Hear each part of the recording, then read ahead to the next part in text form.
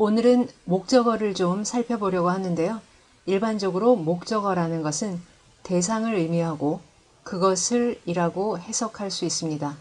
吃什么라고 하면 무엇을 먹느냐가 되고 吃饭이라고 하면 밥을 먹는 게 되지요. 그런데 가끔 목적어가 대상이 아닌 그런 목적어가 있습니다.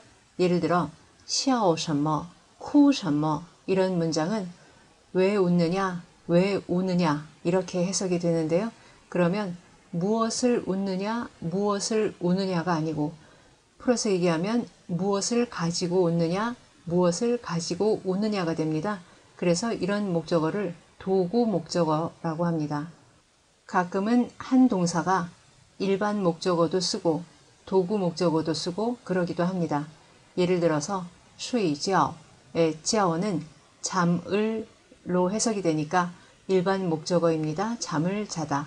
그런데 睡床이면 침대를 자다 라고 해석할 수는 없지 않겠습니까? 침대를 가지고 자는 게 돼서요. 이런 걸 도구 목적어라고 합니다. 吃饭 밥을 먹는 건데요. 吃大碗큰 그릇으로 그러니까 큰 사발로 밥을 먹는 겁니다. 도구 목적어죠. 睡觉 설명했고요. 그래서 푹신푹신한 침대에 자면 睡软床 딱딱한 침대에 자면 睡硬床 바닥에 자면 睡地 그렇게 되고 그것들이 모두 도구 목적어가 됩니다. 晒衣服 옷을 말리는 거니까 일반 목적어인데 晒太阳 그러면 태양을 가지고 태양빛을 이용해서 쬐는 거니까 햇볕을 쬐다 도구 목적어가 됩니다. 리엔츠 글자 쓰기를 연습하는 거니까 일반 목적어인데 练毛笔 붓을 가지고 붓글씨 연습을 하는 거니까 도구 목적어가 됩니다.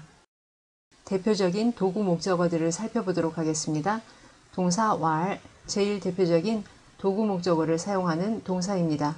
왈치오 공을 가지고 놀다 왈슈에 눈을 가지고 놀다 왈电脑 굳이 안 놀아도 되지만 하여간 컴퓨터 하다 라고 할 때 이렇게 얘기하지요.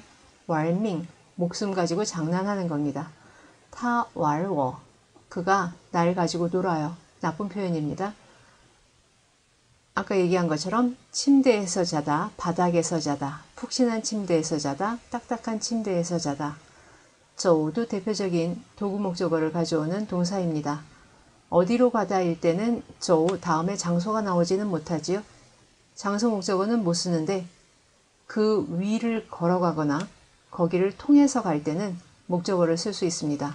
저우루 길을 걷다, 길을 이용해서 걷는 거지요. 저 허우만 뒷문으로 들어가다 부정적인 방법을 사용하다라는 추상적인 의미로 더 많이 쓰이지요. 저 완로 굽은 길을 걷다 역시 인생의 실패를 표현하는 또 다른 표현입니다. 저 장청 장성 위를 걷다. 산산즈 부채라는 명사인데요. 부채질을 하다. 샤이太阳 햇볕을 쬐다. 洗凉水 찬물로 씻다. 练毛笔 붓글씨 연습을 하다.